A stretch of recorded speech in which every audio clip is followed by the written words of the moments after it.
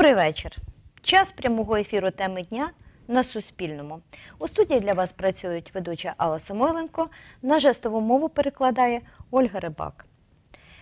До 1 січня керівництво Хмельницької обласної лікарні має підготувати штатний розпис. Це потрібно для того, щоб е, е, почати реформування медзакладу е, третинного рівня. Наша колега Тетяна Ворожцова побувала у Хмельницькій обласній е, лікарні та підготувала про це сюжет. Давайте подивимось.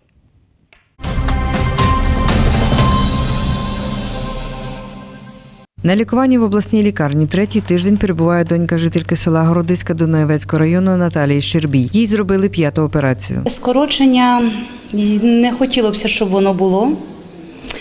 Для пацієнтів це буде не дуже добре, тому що нема персоналу, не буде кому обслуговувати хворих. Жінка каже, найближча амбулаторія за три кілометри від їхнього села. Наша найближча лікарня це Дунаївці. Це за 25 кілометрів від нашого села. Ну, звичайно, далеко, але є ще в нас за 3 кілометри лікарня. Ну, то лікарня, там тільки денний стаціонар і немає, звичайно, там того обладнання, немає таких лікарів, як і в області. Завідуючий відділення анестезіології та інтенсивної терапії Хмельницької обласної лікарні Костянтин Карнаух каже, сподівається, що під час реформування скорочень персоналу не буде. Я думаю, що не зменшиться кількість ліжок, і медперсонал, який є у відділенні, не буде підлягати скороченню. По світовим нормам кількість інтенсивних ліжок у нас значно менше в Україні, ніж в усьому світі. У нас на одну на одного форого одна медсестра на троє хворих, у світі на е, одного форого одна медична сестра. За словами тимчасово виконуючого обов'язки директора комунального неприбуткового підприємства Хмельницька обласна лікарня Олексія Підморняка, до 1 січня керівництво лікарні має підготувати новий штатний розпис. Повинен бути директор, який буде менеджером. Повинен у директора бути заступник. Раніше такого не було. І повинен бути медичний директор, який буде відповідати за якість надання медичної допомоги. Переважно е, зміни, які е, будуть відповідно до нового штатного розпису, стосуються іменно адміністративно-управлінського складу. Для відділень, для відділень е, немає ніяких вимог в тому плані, що ми повинні їх чи скорочувати, чи реорганізовувати, І додає, з нового року адміністрація лікарні вирішуватиме доцільність існування відділень лікарні та штату в них. Адміністрація лікарні повинна приймати рішення, е, які відділення краще працюють, які відділення надають якісну медичну допомогу, які відділення треба розвивати, а які відділення на сьогоднішній день вони просто залишилися. Можливо, е, роздутими штатами, Директор департаменту охорони здоров'я Хмельницької ОДА Яків Цуглевич каже, всі обласні заклади будуть працювати як вторинка. Частина фінансування надаватиметься Національною службою здоров'я, а частину коштів лікарня буде заробляти самостійно за рахунок платних послуг. Я думаю, що це провідний заклад і вона буде розширюватися. Є вимоги, що повинен бути тільки один структурний підрозділ. Е, До прикладу, у нас є ще е, тут дві обласний тут диспансер і ще дві тут лікарні. Тепер е, вимога є, що тільки один повинен бути, а це відділення повинні бути від е, структурного підрозділу. І по одному закладу повинно бути на область.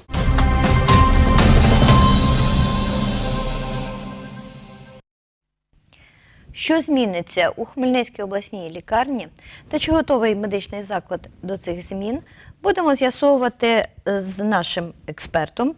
Це тимчасово виконуючий обов'язки директора комунального неприбуткового підприємства Хмельницька обласна лікарня, заслужений лікар України, доктор медичних наук Олексій Підморняк. Вітаю вас, пане Олексію. Доброго дня, добрий вечір.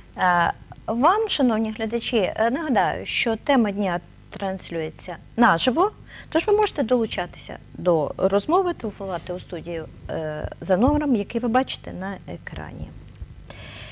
Е, Пане Олексію, у сюжеті говорили про кадрові зміни. Так. Е, Трошки детальніше е, торкнемося цього питання. От ті ем, посадові особи, які будуть відповідати за певні напрямки. Що це за напрямки, як це буде здійснюватися? Якщо брати історично, то раніше регламентувався штатний розпис, був такий славнозвісний 33-й наказ, він був виданий ще в 92-му році. де чітко було регламентовано е, штат лікарів відповідно до е, кількості ліжок, які є в структурі лікарні. Відповідно до кількості ліжок визначалися і керівний склад лікарні. Е, Безпосередньо повинен бути головний лікар, який займався і господарською діяльністю, і лікувальною діяльністю. У нього мало бути не більше п'яти заступників, які відповідали за певний напрямок роботи. Після того, як задекларували реформи в медицині, було чітко визначено, що перебираючи світовий досвід, важко на одну людину покладати і господарську частину роботи, і лікувальну частину роботи. Тому е, в жовтні, в серпні 2018 року Міністерство охорони здоров'я внесло зміни в кваліфікаційні вимоги параграф 78, що стосується охорони здоров'я, де чітко визначили, має бути директор або генеральний директор, має бути заступник директора, має бути медичний директор. А далі вже мають бути керівники підрозділів або завідуючі відділенням, як вже буде називатися. До 22 року, до 1 січня 22 року, директором може бути людина, яка має освіту економічну, або має освіту адміністративне е, право, або має освіту публічне право, або має е, спеціалізацію по організації управління охорони здоров'я. З 22 року обов'язково, якщо буде лікар мати медичну освіту, він обов'язково має мати е, або економічну, або освіту в галузі публічного права. Додатково. Додатково, обов'язково. Зараз до 22 року або або. Повноваження е, директора має входити безпосередньо е, стратегічне планування, безпосередньо кадрове планування, безпосередньо планування операційної та інвестиційної діяльності. Він е, відповідно до статуту, який вже затверджений, має право сам визначати, хто буде в нього заступник без погодження, хто буде медичним директором і відповідно хто буде керувати структурними підрозділами. Медичний директор е, буде безпосередньо відповідати вже за якість надання медичної допомоги, буде відповідати за е, взаємовідносини між структурними підрозділами і давати всі необхідні вимоги, які, на його думку, мали би покращити якість надання медичної допомоги. А директор або генеральний директор повинен вже планувати свою діяльність так, щоб забезпечити ті вимоги, які перед ним ставить медичний директор. Тобто тут повинен бути такий тандем, в якому медичний директор подає пропозиції, ставить вимоги перед генеральним директором, а генеральний директор ставить вимоги перед владою, шукає інвесторів для того, щоб забезпечити діяльність медичного закладу. От е, ви говорите так в майбутньому часі, це до 2022 року має бути. Е, Ми е, чули, що до 1 січня ви маєте підготувати штатний розпис. Він має е, уже враховувати ці вимоги, про які ви щойно сказали. Так, до е, 1 січня воно вже має штатний розпис, має враховувати ці вимоги, але немає жорстких вимог. Чому? Тому що якщо були ці посади, люди працювали на цих посадах, ми не можемо їх просто звільнити, сказати, все, от з 1 січня вже ваших посад немає. Ми і далі будемо працювати, але економічні важелі будуть е, мати велике значення. Якщо під час виконання своїх обов'язків буде м, чітко видно, що е, ця посада не є ефективна, це просто витрачання коштів. Е, немає сенсу її далі тримати. Тут можливо, вона врешті вона буде обов'язки, переформатована, так? чи вона буде поєднувати. Е, В чому особливість е, реформи? В тому, що заклад він набуває статусу автономізованого. Він напряму підпорядковується лише своєму власнику. Власником на сьогоднішній день є обласна рада. І відповідно депутати обласної ради будуть вже визначати, як цьому закладу себе далі вести. Якщо директор дає свої пропозиції, це обов'язково слід погоджувати з власником, з обласною радою. Тому значимість влади, місцевої влади, має неабияке значення в плануванні діяльності закладу. І це я вважаю досить е, правильно, тому що е, основне завдання лікувального закладу це забезпечити належну якість, необхідний об'єм допомоги населенню області. Тобто ми не є якимось комерційним закладом, що ми прийшли туди заробляти гроші. Ми створені для того, щоб людей допомагати, спасати і е, вертати той рівень здоров'я, який ми можемо повернути. Е, Про керівництво ми поговорили. Тепер поговоримо про власне про е, е, лікарів, медсестер. Скільки у вас працює зараз лікарів? Фізично працює 1387 е, співробітників. З них більше 260 це лікарі. До речі, 4 доктори медичних наук, 22 кандидати медичних наук, 15 лікарів, заслужені лікарі України. В жодному закладі області немає такого е, висококваліфікованого потенціалу. У нас працює 560 медичних сестер. 50% працюючих медичних сестер це е, медичні сестри вищої кваліфікаційної категорії. У нас працює 360 молодшого медичного персоналу, це санітарки, так як ми звикли називати.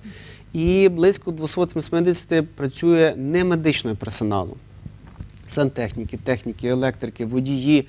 Тобто Люди, які е, обслуговуючий персонал так. він е, має досить велике значення в е, злагодженій роботі самої лікарні. Ви бачите, 260 лікарів і 560 медсестер.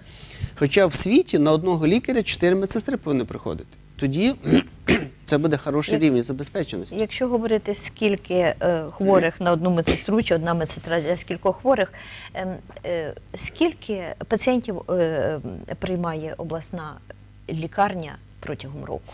От минулого. Ми ведемо поліклінічний прийом. Так. За 2018 рік було прийнято 116 тисяч пацієнтів. В стаціонарних відділеннях на 75 е, до 1 вересня було 795 ліжок. З 1 вересня відділення кардіохірургії увійшло в склад серцево-судинного центру. Е, На сьогодні ми маємо 755 ліжок.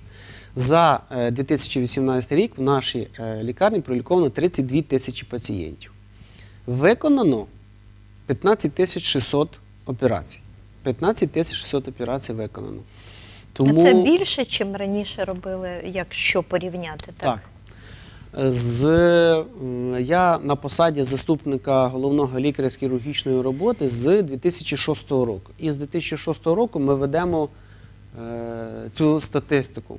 З кожним роком приріст приблизно від 3 до 6%. Від 3 до 6% приріст і кількості пролікованих хворих, і кількості виконаних операцій. Е, Про що це говорить, е, якщо аналізувати? Чи більше стає е, захворювань і людей, пацієнтів? Чи це просто е, уже розвивається медицина і люди звертаються саме до вас, а не їдуть кудись до Києва чи в інші якісь великі міста? На мою думку, тут декілька чинників. Перше, це те, що звичайно розвивається медицина.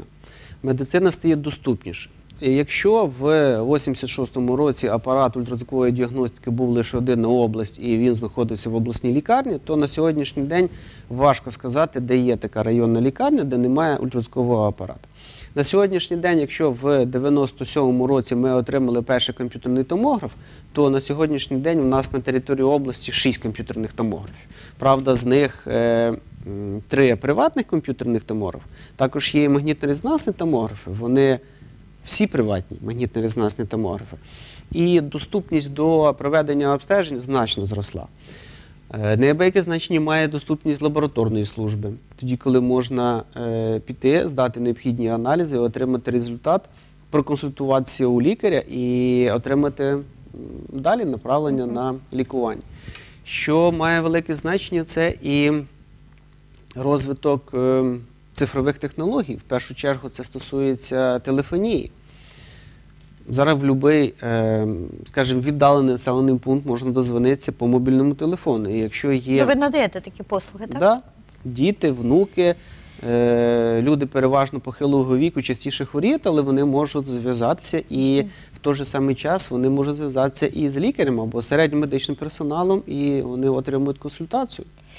Е, Те, що е, можливості е, поліпшуються в обласної лікарні, е, ви сказали. А як на це вплине е, реформа третинної ланки? Це допоможе вам розвиватися, чи, чи треба буде щось ще додатково робити? Я думаю, що, скажімо, різкого прориву не буде зразу.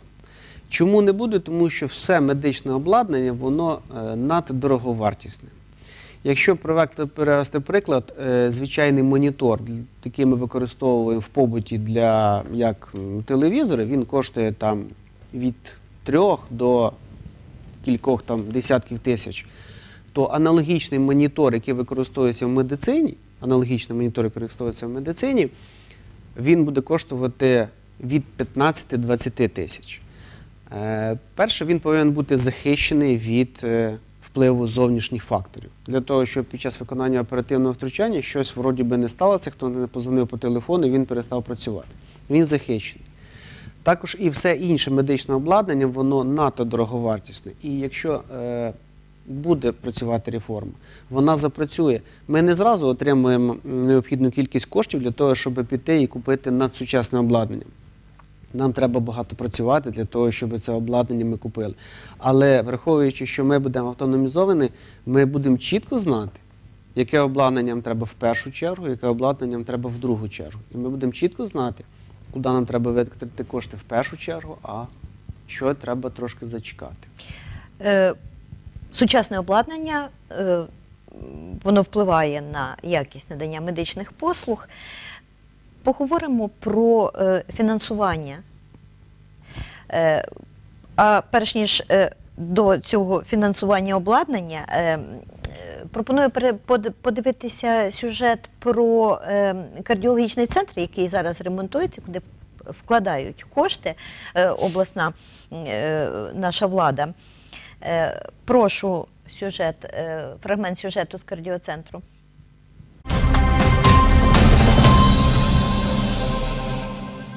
На третьому поверсі реконструйованої будівлі кардіоцентру працюють проєктанти зі Львова. Головний архітектор проєктів Наталя Зінчук каже, у планах збільшити місткість приміщення. Ми збільшуємо е, суттєво площу е, цього об'єкту, збільшуємо кількість е, ліжок в стаціонарі, допрацьовуються величезні операційні, збільшуються консультативні кабінети для надання послуг і в царині кардіології, і загальнотерапевтичні.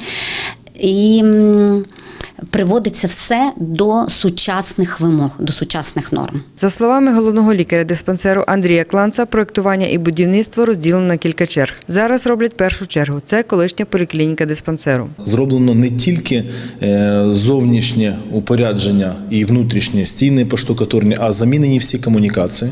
Абсолютно жодної старої е, труби чи кабелю немає, все абсолютно нове.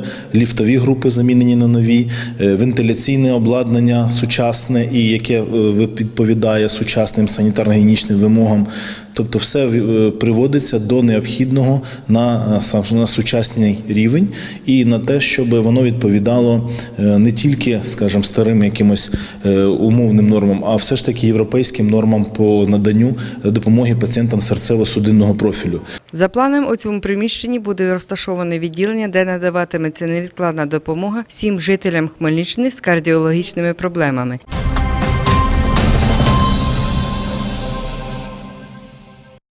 Як ми бачили у сюжеті, е, кардіологічний центр ремонтується, осучаснюється. У вас теж є е, кардіологічне ем, відділення, так?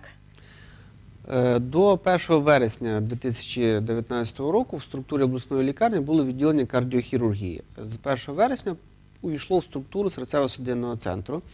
Але враховуючи те, що не закінчений ремонт основних приміщень, які ми бачили в е, сюжеті, то вони в нас перебувають на правах оренди.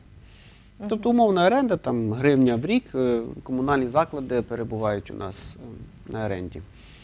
Тобто це все входить в одну систему, і фінансування з обласного бюджету пішло ну, власне, на загальні потреби, так? Так. Ем, щодо фінансування, гроші за, ну, після реформи має, мають отримувати лікувальні заклади з національної, від Національної служби здоров'я України. Для цього треба укласти угоду з Національною службою. Е, Обласна Хмельницька обласна лікарня уклала угоду. Ні, ми ще не уклали угоду. Чому? Основні вимоги для того, щоб укласти угоду, перше, це автономізація закладу, щоб ми стали комунальним некомерційним підприємством. Друга вимога це щоб ми оновили ліцензії на медичну практику і на наркотичні засоби. Третя вимога це підключення до електронної системи здоров'я. Четверта вимога вона витікає з третьої придбання медичної інформаційної системи, яка буде основою для того, щоб вводити туди дані пролікованого пацієнта, і е, лікарня за пролікований випадок буде отримувати кошти, які е, можна буде надалі використовувати для свого подальшого розвитку. Е, В нас на сьогоднішній день виконана е, автономізація. Ми закінчили автономізацію. Ми е, підготували всі документи і подали на отримання ліцензії. Це час для того, щоб її отримати. Ми провели аудіт і реконструкцію, реорганізацію всієї своєї комп'ютерної мережі. До речі, ми були єдиний заклад в області, який повністю був е, забезпечений внутрішньою комп'ютерною мережею. Ми були єдиний заклад в області, який власними силами ще 8 років назад за моєю ініціативи розробили локальну медичну інформаційну систему. Вона на сьогоднішній день, порівнюючи з е, тим, що пропонує, вона має е, свої недоліки. І, можливо, достатньо недоліків, але лікарі оволоділи повністю нею. Для них абсолютно не страшно зараз переходити на нову медичну інформаційну систему. Вони повністю володіють базовими знаннями ведення цих показників.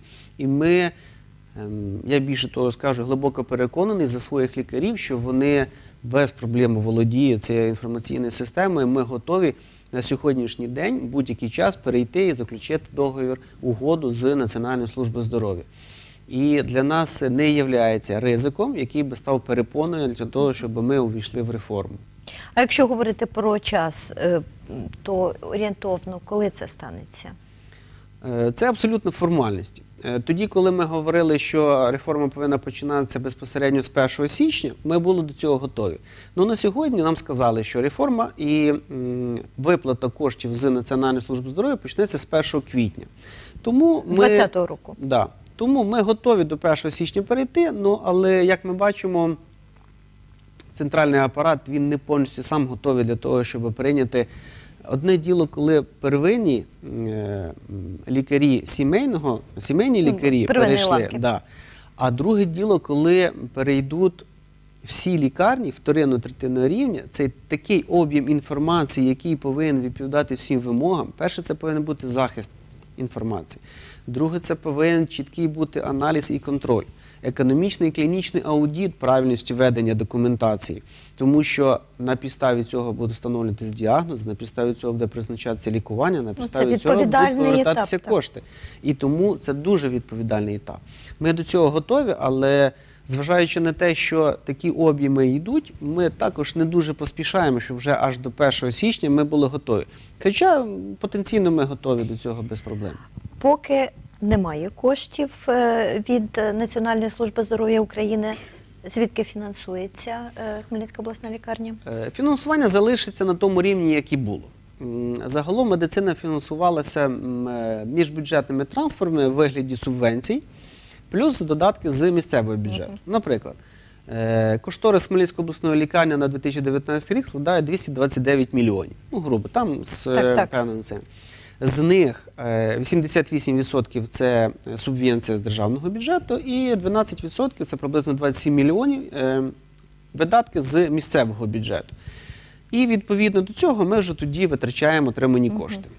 На наступний рік приблизно та, та, такі чи зміниться якось? Значить, по ідеї, яка е, закладена в суть реформи, визначають 60% історичного бюджету.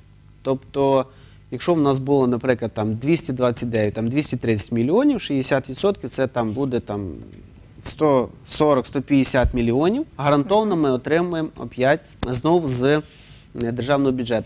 40% ми повинні заробити, пролікувавши правильно пацієнта, подавши правильно дані в Національну службу здоров'я, і, і- нам гроші так. ці повертаються. Е, е, чи е, є платні послуги дуже коротко, і чи е, їх не буде після реформи, чи вони залишаться? Загалом перелік платних послуг регламентовано постановою Кабінету міністрів з 1998 року. Вона декілька разів переглядалася. Там невеликий перелік платних послуг. Тобто, е, коли пацієнт прийде, лікар не зможе йому сказати, все, ми вже перетворилися, твоя послуга платна. Але він не зможе сказати тоді, коли пацієнт прийде за направленням лікаря, його привезуть швидкою допомогою для надання невідкладної допомоги. Він прийде на пологи або після пологів Тобто буде є перелік послуг. Так. А якщо цього направлення не буде, ми маємо право сказати, да, ці послуги в нас платні. Е, наш час добігає кінця. Дякую вам дуже за участь Дякую у програмі. Вам. вам, шановні глядачі, бажаю здоров'я і до зустрічі в наступній темі дня.